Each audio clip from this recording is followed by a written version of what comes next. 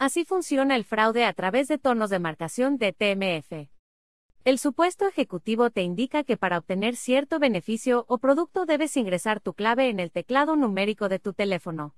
El teclado crea señales de multifrecuencia de tono dual DTMF. Cada botón crea dos tonos, uno de un grupo de alta frecuencia y el otro de baja frecuencia. A través de los sonidos que producen, pueden saber tu contraseña numérica.